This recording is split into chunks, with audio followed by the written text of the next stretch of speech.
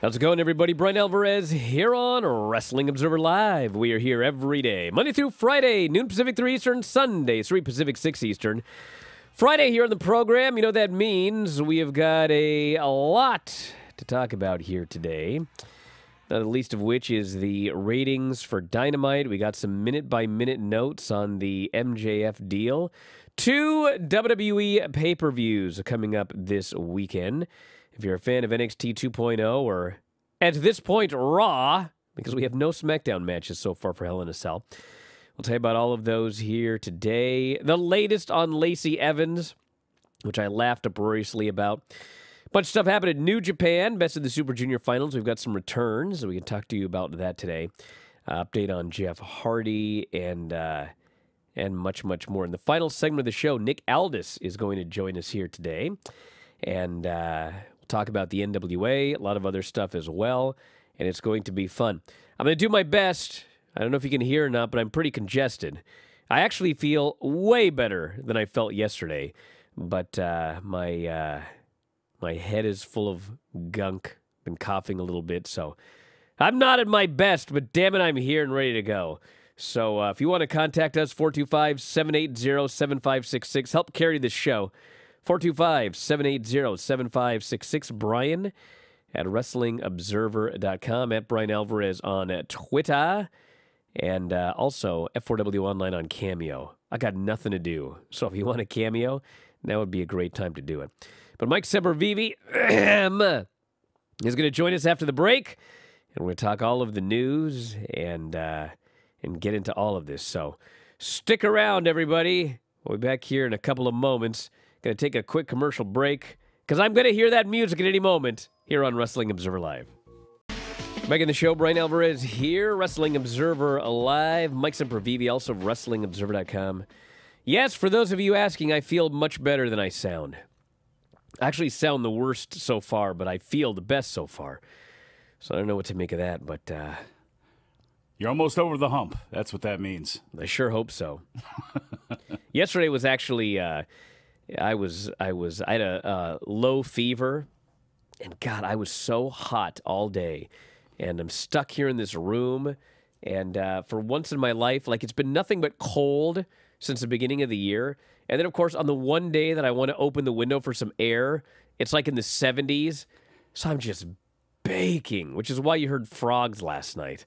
I left the window open during the uh, the Bryan and Vinny show, but I'm on the comeback trail, everybody. I am on the comeback trail. Rally back. It's the weekend, brother. Oh yeah, I'm rallying back to two WWE pay-per-views. Well, it's- uh, eh, well, um, your wife will be happy you feel better, so she can take some of the pressure off the kids. You know, dealing with that.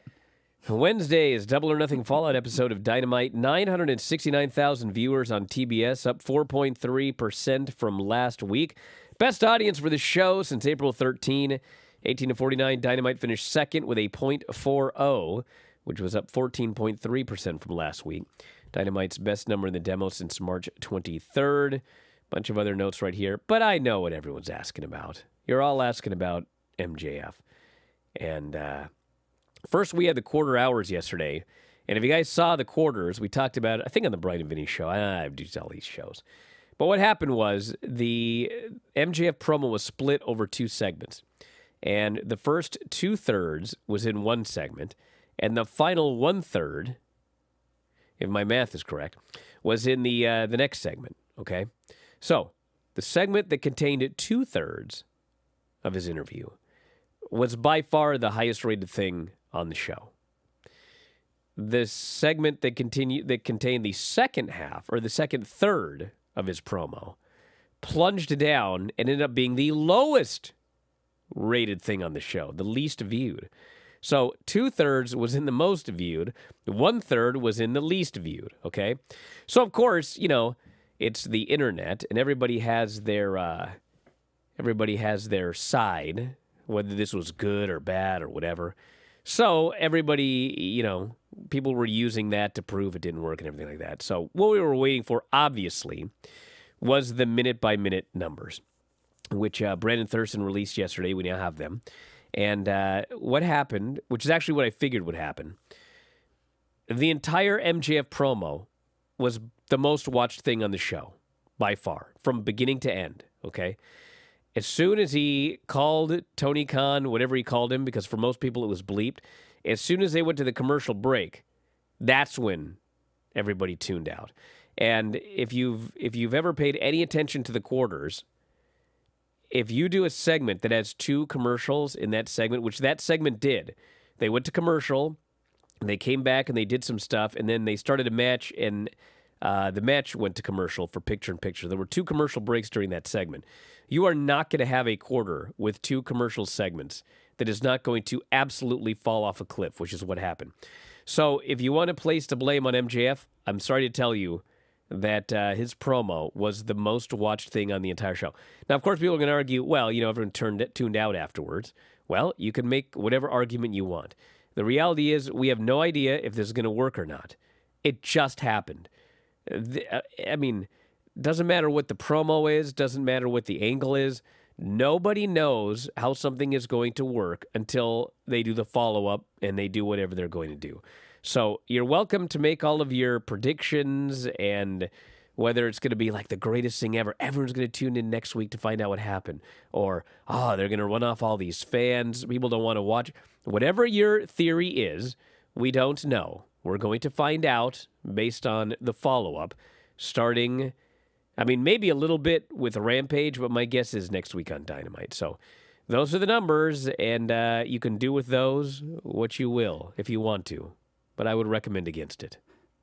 Have you su- survived the slings and arrows over the last couple of days of being called out of touch or old or a contrarian that everybody else liked that promo except for you, Bryan Alvarez? You're just doing this on purpose. Bro, I uh, what, what does everyone even talk? If anyone said that, they're an idiot. But I've dealt with that a lot of late.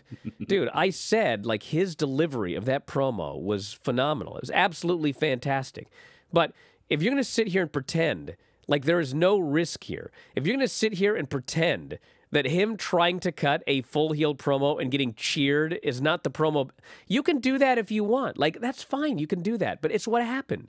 So we'll see what happens. But yeah, his delivery was phenomenal. I never said anything negative at all about his delivery. He has uh, probably the best delivery of anybody in all of wrestling when it comes to cutting promos. But don't act like there's no possibility that something could go wrong here. Like, well, virtually every other time this has ever happened, it hasn't worked. But this time, man, Bryan, if you think it, it's uh, it's, uh, it's not going to be a home run, you're old and out of touch. Well, that's foolishness. Now, granted, most like of these fun. people are foolish, so who cares? You hate fun. no, I don't. oh man. It's almost the weekend, though. We're almost done with this for now. No, we're and you not. don't have to look at social media at all until you start doing your your full review in time of the NXT pay per view or pay per view special live premium event coming up on Peacock, which I know you're excited for. Bro, I never said it wasn't entertaining. What is wrong with people? I know. Honestly, I know. what is wrong with people? Bro, on, on Observer Live yesterday, the first segment of the show, I don't think I could have possibly been more fair and given like both sides of this. I don't think I could have possibly been more fair. But what happens is because everyone has to choose sides, you only hear the details what you, want, to hear. Of course. Irritating. Mm. And bro, you guys are going to argue that Wardlow wasn't like overshadowed by this. Is anyone really going to argue that? That's the Come funny on. one to me. That's the the hilarious one to me is that the Wardlow did not come out of this looking, you know, the way he should be that next night and coming out of this and having somebody who look, if you're going to powerbomb a guy 10 times, you're going to kill him dead, you're going to put him out on a stretcher, like you know, he may want to sell something the next day. If this was WWE, those same people would be, you know, bitching and moaning and complaining that this person didn't do this. And it's like, it's just crazy. And and to make the excuse, well, you would would WWE does this. Is that what you want to do? Is that what you want to be? Wasn't the whole point of AEW starting up to not do what WWE does and drives people nuts and actually have? Ah, forget it. Lacey Evans is uh, probably going to debut on Smack. I shouldn't say debut. Plans change, Bryan. Plans change. No, no, no. yes, uh, Lacey Evans is actually at SmackDown right now. I don't know if she'll be on the show, but she's there. And uh, if you recall, she was on SmackDown, and then she was moved to Raw. and then she was announced as debuting on Raw, and then she didn't debut on Raw, and now she's been moved to SmackDown. I am always the bad guy when it's so patently obvious they have no idea what they're doing ever. So anyway, now she's back on SmackDown, and uh, you know, I, I guess we'll see what they do. I'm not even even bother speculating. I mean, maybe she'll be a heel, maybe she'll be a babyface. At this point, who cares? I mean, So I'm I'm go over out I got really again. mad one day, but like that's the great thing about having a show like this is I can get really mad about something and then I just don't care anymore. It's actually great. It's cathartic. Get it all out of your system, and then that's that. So she'll be on uh, SmackDown, probably as a heel, because you know why not? Why not? Yeah, of let's course. let's waste five weeks of absolutely incredible videos to just have her be a heel.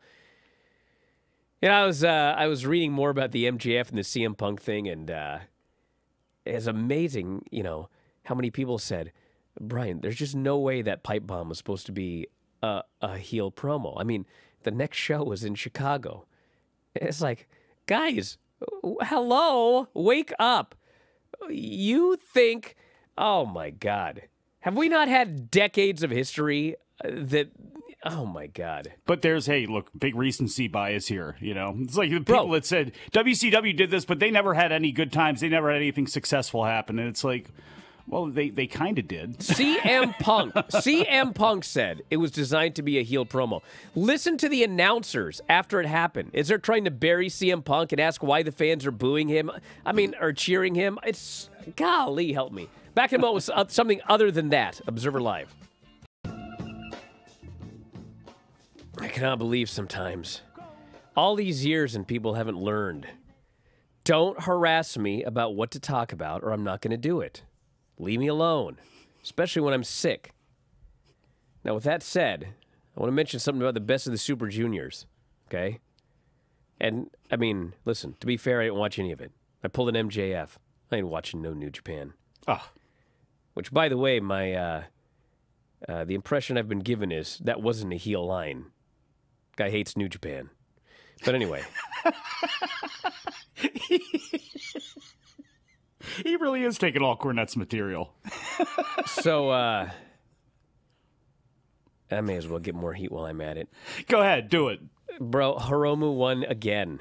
Yeah, well, Even even uh, Jingo here, who's like a huge Japanese pro wrestling mark, even he got it wrong.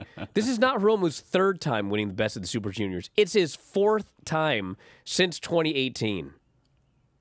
Hey, he, Bro, he's arguably the best Super Junior in the world. I love Hiromu, okay? I love Hiromu. I love Okada. I love Naito. I love uh, rattle off the list of guys. And granted, yes, we're in the middle of a pandemic. Yes, it's hard to get people in and out of Japan until just very recently. But bro, it's the same thing when they had that big stadium show. And it's like, what are we going to do for the IWGP title? Okada Naito. Bro, how many times can I see that match? How many times can Hiromu win the best of the Super Juniors? Like, uh, dude, there were some talented dudes in that best of the Super Juniors. And I just feel like it's the same stuff over and over and over and over and over and over again. Now, hopefully, hopefully, this is all about to swing wildly Oh boy, because now positive thoughts. no more quarantine. Mm-hmm. Like we can get people from AEW, we can get people like Jay White's no longer doing Impact. He's just gonna be back full time doing New Japan.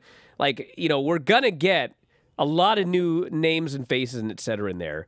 But bro, I need something different, dude. I mean, Well, you know, I have brought up Gedo's booking for quite some time, and we've been into it over that. And I thought there was a way you. And could by the way, slide one thing real quick. It's Go not ahead. only it's not only the fourth time that Hiromu has won the best of the Super Juniors, but it was the same damn final that we had two years ago. My voice box is falling out. look, some of these yes, people, fourth. some of these folks that are.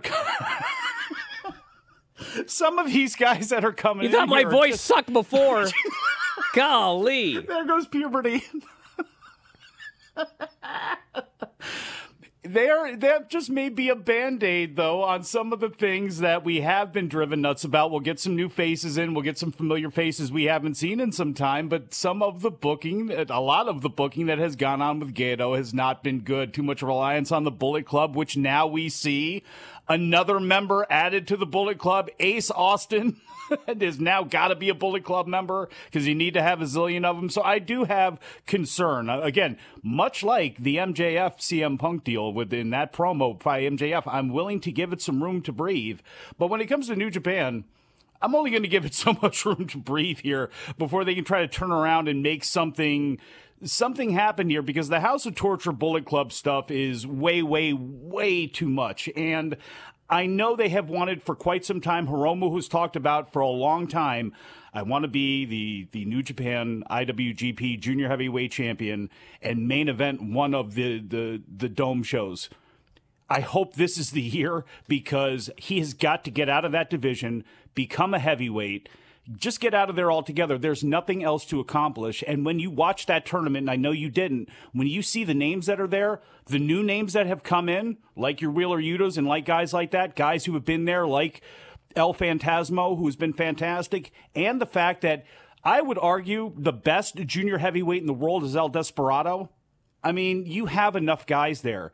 Tai- Taiji Ishimori and El Desperado can, on their backs, completely run that side of the junior heavyweights with the new names coming in and other people getting built up. Hiromu doesn't need it. So I hope this is going to be it. I'm willing to go till January 4th or whatever it is, the 6th, whatever the, the, the third day is going to be and, and be all right with it. But like he has got to get out of that division, do something in the heavyweight division because somebody's going to have to replace Naito at some point too because he's being held together by tape right now. And I always, you know, I'm, I'm constantly waiting for Hiromu to not take his spot, but to kind of slide into it more. And we see a little less Naito. And I, we'll have to see how it goes. But, you know, New Japan's booking just because new guys are coming in, we've talked about it, you know, and guys coming back does not automatically make things better. It, the booking has been atrocious for a while. Couple of returns to the show. Kenta is back. Jay White cut a promo for the semifinal, announced Kenta's return. Uh, he says, I know we're a little short-handed today. The machine gun Karl Anderson couldn't make it. He's out with COVID. Juice Robinson couldn't make it either. He's out with um, what the hell? What, what did he have? I forget. He had Which something. one? Juice Robinson. Uh, appendicitis. Yeah, that's right. But I do have one surprise, and it was Kenta. He has not been around since January 5th when he suffered a dislocated left hip, a broken nose, tendon damage to his finger, and severe lacerations to his back in that ladder match with Tanahashi. Eh, Which, I mean, So that's why he's not going to be a tournament of survival this weekend anybody not know that was coming? Not that he was going to get that hurt, but Well, I mean, come on now. You can't. Look, there have been guys who have done a lot bigger stunts and gone through a lot more stuff and actually not been hurt, but Well, yeah, but the whole point going in was why are these two great wrestlers being put in this garbage match? They damn near killed poor Kenta. And then also we had the return of Sanada, who is uh, recovering from a fractured orbital bone suffered in the New Japan Cup in a match with Will Ospreay. So uh, he is back as well. looks fantastic in a suit, doesn't he? We need some. We need some names, brother. What do you think about Sanada? Folks coming back. the times you've seen him, because I always disagree with Adam Summers on this, on the Big Audio Nightmare, which you can find at f4wonline.com. I think Sanada has always been missing something. You look at him and you think Of this course is a he guy. is. Adam. And- Adam argues this. Well, he he's a, he is a a Sanada supporter. So Well, I am been- too, but I mean, it's patently obvious he's missing something. He's missing something, and it's there. The connection, the crowd loves him, but there is a connection issue somewhere there. And you look at him, and it's like he, you know, IWGP Heavyweight Champion, a, a contender for sure. He can work his ass off. You see the matches with him and Zack Sabre Jr. He's very, very good. He just needs something, and that's another thing. Hopefully, the booking can, whatever that thing is, he needs it now because now that he's been out, he's coming back, going after the U.S. title this is kind of do or die for him as far as him ever being a serious really being a serious threat to actually win and hold on to the IWGP title. My issue with Sanada is in storyline, he's an idiot. Do How many that? times this guy almost had the win with his Dragon Sleeper, and he lets go of it to go miss a moonsault? How many times I've seen that? It's like, brother, Stop trying the moonsault. I don't care if you were a big fan of Muto. You almost won and you let go of it and then you missed the moonsault. You dummy. Like 50 times I've seen that spot. I start mist instead. He needs a manager like me. Oh, no. Yeah. He can do the work and I can, uh, you know, hack my way through a promo. yeah, I thought it would be really clever to offer uh, cameos while I was uh, quarantined. Oh, that's right. How's that worked out for you? You should see these cameos I'm doing. Golly. Is there a botchamania for cameos? There should be. It's pretty bad. Matt Hardy explained his brother Jeff was pulled from Dynamite this week. Matt Hardy said in the podcast Jeff was almost knocked out very early on in the Hardys' match against the Young Bucks. This resulted in Jeff being pulled from Dynamite. Matt said, Yeah, I was happy with the match, especially considering very early on in the match, Jeff was almost knocked out. So he got hurt pretty bad. That's why he was being pulled from the match in LA. He was kind of running on fumes going through the match, so he still held up his end of the bargain pretty good in the grand scheme of things. So listen, I know a lot of people are upset about the idea that this guy got a concussion early on and they kept doing the match, and uh, I don't like that at all. I I do, however, often give talent the benefit of the doubt in the sense that they didn't necessarily know that that that, that happened. Like I haven't talked to anybody in the match, so I don't know if they knew or not. But like let me tell you something about uh, Young Bucks matches. And actually, it was it was AJ Styles on our uh, on our show many years ago. I'll never forget this. I was at King of the Indies in 2001, and AJ Styles was going to have a match in the tournament. And bro, this guy got in the ring, and he was in there for like four hours going over spots with whoever he was wrestling that night. I was like, dude, just hour after hour after hour after hour practicing and going over these moves. And then, uh, you know, later he, you know, a decade later, 15 years later, he goes to New Japan, and uh, he's doing matches with the Bucks, and uh, and he explained, he goes, dude, they want to do so many things. I can't remember any of that. So I just sit there and have them tell me what to do in the match. So, you know, Jeff Hardy is not used to doing those sorts of matches. So it's possible because I heard that Jeff was banged up going in, okay? Which I'm sure he was if you saw some of his matches he's had. And, uh, you know, it's possible that they didn't realize at the time that that was the issue. They just figured, like, God, this guy can't remember anything. We got to tell him what to do. There's 8 million spots in this match. So, you know, I I don't know, but I, I like to think that they didn't realize he was concussed immediately and then decided to go 14 minutes. I don't know, but I do like to think that that didn't happen. Well, who's supposed to be making that call? You know, um, in the NFL now. Well, it should be the know, referee. Well, and there, or it should be whoever notices. Well, that's a. You know, is there a spotter there? It's it, it's it's tough because you get a, a situation like Hikuleo.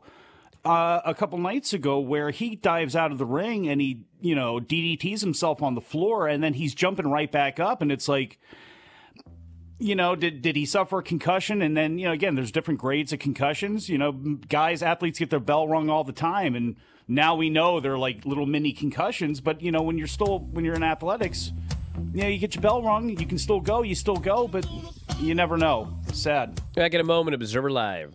Back in the show, Bryan Alvarez here, Wrestling Observer Live. Mike Sempervive, also of WrestlingObserver.com. Nick Aldis joining us here today. NWA, always ready, is coming to uh, to the Knoxville Convention Center. Nick, how you doing today? I'm good, Bryan. It's been a long time. How are you? It has. You've brought some class to this show. Well, you know, allegedly. Now, obviously, the very first question is uh, obviously the uh, the situation with, um, I guess, your main event, really. Uh, yeah. Matt Cardona suffered a uh, torn biceps over the weekend. And uh, what's the status of the match? What do you know? um, I don't know a whole lot. Uh, I, have got a call actually um, in about an hour or so. so right, right, after I get off this call with you guys, um, I'll be getting ready for that, and I guess that's where uh, I'll get uh, I'll get kind of the four one one. Um, so uh, unfortunately, your timing is not great. If I had, had, you, had, we scheduled this for a couple of hours later, I might have been able to lend you a bit more insight. But um, you know, it, it is what it is. I uh, when I heard that he'd torn his bicep, um, my initial I, right away I, I said I, I bet it was catching a dive, and sure enough, that's exactly what it was because that's how I tore my bicep uh, in Mexico in in uh, 2015. Um, same thing. So it's you know that's it's one of the sort of it's one of the new risks. You know, I guess in sort of modern wrestling is like that's that's quite a common injury is is is the uh, torn bicep from catching a dive or torn pec from catching a dive because you know they're commonplace and um, yeah, unfortunately that was the case. So I will I guess we'll see. I guess we'll see what we're going to do. But uh, the good thing is, is that at least it, you know, even though it's uh, unfortunate um, for for Matt in one respect, it does at least create some intrigue because uh, as we've as we've seen um, very much this last weekend from you know with the MJF stuff and stuff like that, sometimes uh, people being unsure of you know what's real and what's not is is uh, can sometimes be quite good for creating intrigue. You know, I've uh, talked to a lot of people about dives because dives are big in wrestling nowadays. And uh, I wanted to get your thoughts because you know it's not just catching the dive that uh, that we've seen issues with, but you know there there are a lot of dives nowadays that are very hard to catch. You know, you you hear the yeah. term catch, and uh, you know I don't want to call out Sammy Guevara or anything like that, but man, he did like a, a twisting phoenix splash 630 off the top of a ladder and he crashed and burned. And like you know everyone that was supposed to catch him like it was like a 7-10 split. And i just watched and i thought well what was supposed to happen? Like how right. in the world could you possibly catch that without getting killed? And you know I, I don't want to sound like the old man yelling at clouds but i mean there is something to the idea that you know i feel like a dive has to be capable of being caught otherwise it's just dangerous yeah. oh for sure and um you know, for me, like it was always, it's always been something that I've prided myself on. Uh, it, you know, is always making sure I was there. And I think, you know, for me, I sort of cut my teeth doing that in TNA. You know, because it was uh, TNA was in many ways was um, you know was where a lot of that stuff was was becoming more commonplace, right? Like you know, we had all the X Division guys and stuff like that, and I was, especially when Doug and I were in the tag team, uh, a lot of the time, you know, I, we would find ourselves in matches where a dive was coming. Um, so for me, I've my my technique has always been to to sort of get under the you know look for the hips, like get under the hips and kind of if, if because it's the sort of center point of the body and it's kind of a it's a pivot point of movement. So if you can kind of make yourself big and get under the hips, uh, and then sort of be ready to, uh, you know, almost be like a shock absorber, like um, you know that that's that's it's not just about being there it's also about kind of uh, using the right technique to be able to sort of take it and look I, you know I, I, I still feel weird even today um, you know sort of dissecting the fourth wall stuff like this but you know I, I, know that it's people are interested in this kind of stuff so for me it's always been a case of um, take the take the majority of the force try to sort of push some of it back the other way because uh, it because then it helps it helps you go down, it helps them stay up, and you know helps sort of share the share the impact uh, and and um, but I know you're right. Some of these new ones they're they're tricky because if there's a lot of rotations and a lot of twists and stuff like that, it's it's uh, it's hard to time it. But for me, it's always been sort of look for the hips and get underneath it. So you've been doing this now, uh, what 20 years? Is it no, 20? not quite. Um, 19 years? Uh, 18, I guess, 17 or 18 years. I, I, I, started training with the Knights when I was 17. I sort of went full time at 18. I'm 35 now, so. So what? Because uh, you mentioned, you know, still kind of feeling weird talking about the inner workings of wrestling. I mean, obviously, you know, a lot has changed in the last 19 years. And uh, you know what? What do you you feel about that? Because fans are very interested in it, but at the same time, I mean, you know, it is sort of fun to not, you know, if you've got like some great storyline going on, it's sort of fun to not kind of explain what's actually going on. Yeah. You know, I I, I don't really know how to explain it, but uh, I, I I felt that way myself. Like, you know, fans want to know what's happening. And uh, but at the same time, it's right. like part of the fun is not knowing. Yeah, it's you said that fans want to know, and that and that pretty much is the the beginning and end of it. Like that, it, it's a you know, look, it's a business, it's supply and demand. Um, there is such a there there is such a hunger for for the information, even if to your point it may actually in some in some cases, in my opinion, sort of take away from the uh, enjoyment of it or take away from the take away from the magic of it, maybe take away from the excitement a little bit.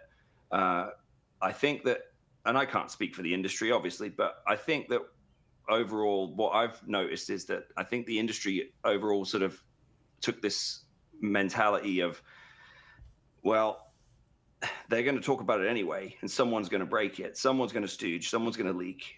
So uh, the the business is, uh, as a whole has been a bit more open because they've realized that one way or another the information is going to find its way into people who want to consume it anyway. So, uh, like it's a it's a double-edged sword. I think that again, referring back to you know what we've seen this past week and a bit, um, I think it's I think we're witnessing maybe a new uh, a, a, new age, like a, a new, and, and, what I mean by that is, uh, this might become the new way to sort of to book angles is to is to sort of lean into that and uh, and use it to your advantage. It's certainly something that I've tried to do. It's certainly something that Cody and I tried to do uh, in our angle.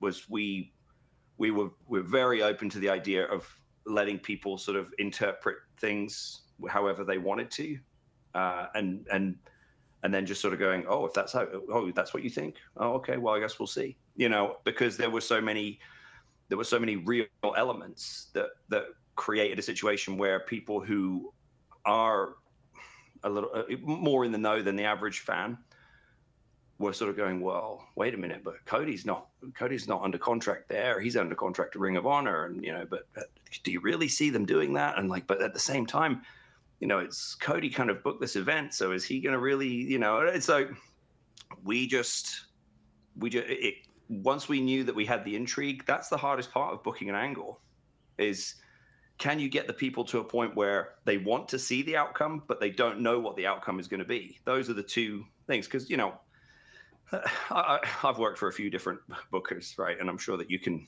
guess who I'm probably referring to here. but you know, I worked I worked for one booker for a while where a lot of the time stuff was changed just for the sake of because no one was expecting it. Yes. Right. Like, and I was told, well, that, that's too predictable, you know, and I'd be like, okay, but just because somebody, just because the fans don't see this coming doesn't necessarily mean that that's what they want to see, right? like, you know, you've got to sort of find that happy medium because sometimes giving the people what they want is what a promoter is supposed to do. Yes. Right. Like sometimes, you know, sometimes uh, throwing a curveball, sometimes sort of keeping the people on their toes and doing something surprising is is the right thing to do.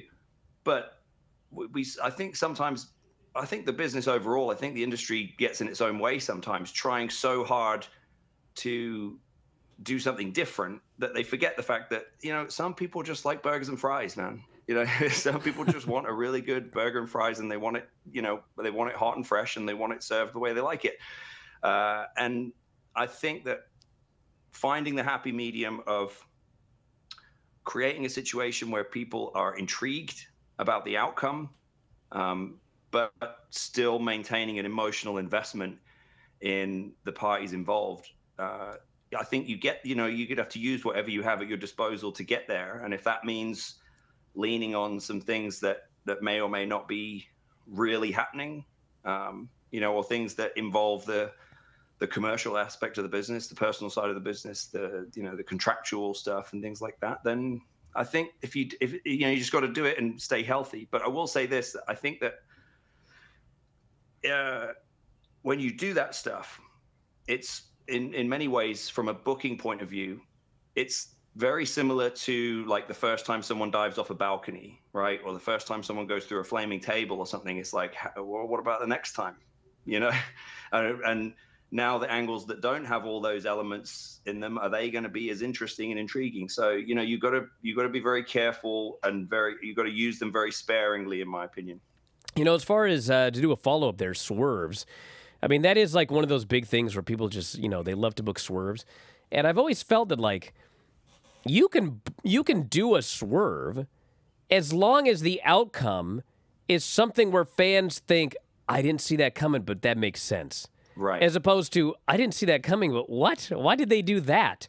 So it can be done, but it takes like some some foresight, and it takes you know leading everyone down one path, going another way, and then bringing them back to that path. So they're like, why didn't I see that coming? That makes perfect sense. That to me is a good swerve. Not we're going to lead everybody in one direction, and in the very end, we're just going to do something nonsensical, and then the fans, you know, they don't feel like they've been outsmarted. They, they, What they actually feel is like these people are incompetent.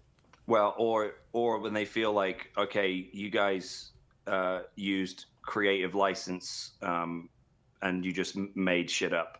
You know, like Yeah. that's it's and again, yeah, it's because you are, you know, um, you're still a promoter, right? Even if- even if you even if you look at the business as a lot of people do now, that oh, it's a television based business. You know, like it, television is most important. If that if, if that's your bread and butter, then yeah, sure it is but I think you, st- I still believe that you have to approach it overall from the mentality of a promoter, meaning like you have to promise something and deliver it. Uh, and if it's when you, it's when you don't deliver something, um, I think, I don't think I'm I'm going to be alone in this opinion, but you know, I think the main reason TNA's pay-per-views uh, did not do well most of the time is because most of the time they felt like a long episode of the show. You know, that because there were too many times where people went, okay, here's my money. Like now, give me the payoff. You know, people throw these terms around, right, in wrestling, like they, you know, like, the, and they, but it's, it's so it's so funny because a lot of the time they've sort of forgotten what they mean, right? Like the payoff. That's, I mean, it does exactly what it says on the tin. That's what that's what it's supposed to be. You're supposed to tee it up, tee it up, tee it up with the with the free television, and then pay it off. You know, and if you don't pay it off, uh, you're going to lose the trust of the audience. And once you lose the trust of the audience, uh, you're toast. Well, the uh, show's coming up on June 11th, Knoxville Convention Center, Knoxville, Tennessee. The scheduled main event, uh, Matt Cardona and Nick Aldis. But as noted, in a few hours, we're going to know what's going on. So stand by. Back in a moment with more Observer Live.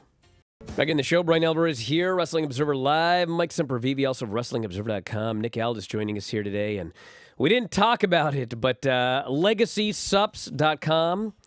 I'm at the tail end of COVID right now, so I probably could have. Uh, but superfood green and red. Like, I could use a superfood right now. Yeah, you could use a bit of that for sure, and maybe some recovery PM to make sure that you're getting a good, healthy night's sleep. It's uh, it's the it's one of the most effective ways to uh, to see some profound changes in your health and well-being is to get a real good night's sleep. So, what can you tell us about this very quickly?